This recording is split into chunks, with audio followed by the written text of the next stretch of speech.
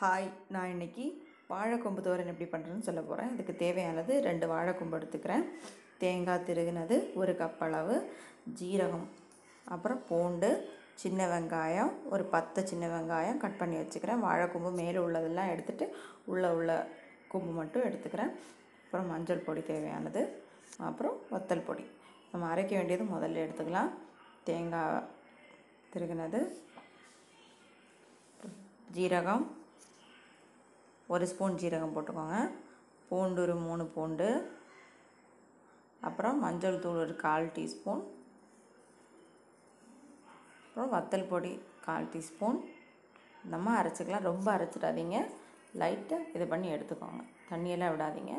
அப்புறம் இதை க சின்ன சின்னதாக கட் பண்ணி நீங்கள் உப்பு தண்ணியில் போட்டு எடுத்துக்கோங்க. உப்பு தண்ணியில் கட் பண்ண கட் பண்ண உப்பு தண்ணியில் போட்டுருங்க. கட் பண்ணி வச்சு லாஸ்ட்டாக போடலான்னு வச்சிடாதீங்க. அதோட கலர் சேஞ்ச் ஆகிடும் ஸோ இந்த மாதிரி எடுத்தீங்கன்னா அதில் கலர் சேஞ்ச் ஆகாது. அப்புறம் நான் ஒரு வடிகட்டியில் இதை வடிகட்டி எடுத்துக்கிறேன். இப்போ தண்ணியெல்லாம் கீழே இதாகிடும் ஸோ அதனால் இது இதில் இருக்கட்டும். நமக்கு இப்போது கடாயில் எண்ணெய் வச்சு கடுகு வைக்கலாம்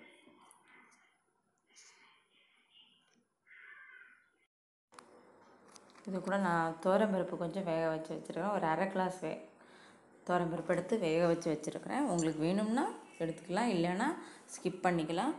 அதுக்கு பதிலாக வே சின்ன வெங்காயம் கொஞ்சம் கூட பண்ணிக்கலாம். இல்லைன்னா பெரிய வெங்காயம் ரெண்டு வெங்காயம் கட் பண்ணி போட்டுக்கலாம்.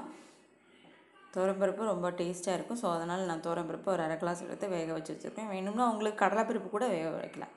நான் சின்ன வெங்காயம் போடுறேன் கடுகு வறுத்ததுக்கப்புறம் சின்ன வெங்காயம் நல்லா கொஞ்சம் ஃப்ரை ஆகட்டும். ஃப்ரை ஆனதும்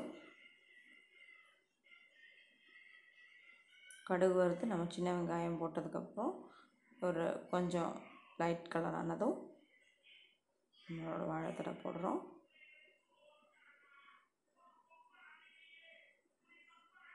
ஓகே அவ்வளோதான் இனி நம்ம பருப்பு போட்டுக்கலாம்.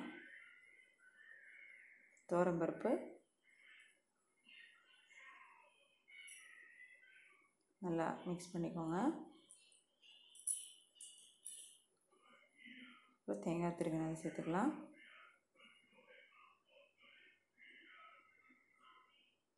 நல்லா மிக்ஸ் பண்ணிக்கோங்க.